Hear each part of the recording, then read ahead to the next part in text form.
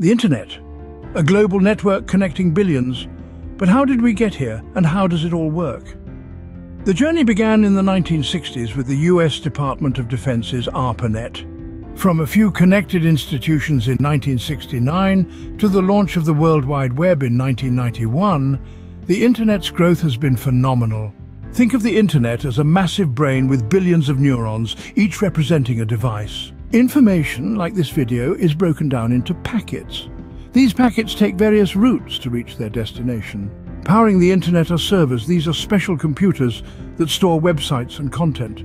Each device has an IP address. The domain name system DNS translates website names into these addresses, guiding data to the right place. Did you know? Vast undersea cables spanning thousands of miles form the backbone of our global internet. While cables connect continents, Wi-Fi and mobile data connect us daily, bringing the internet to our devices wirelessly.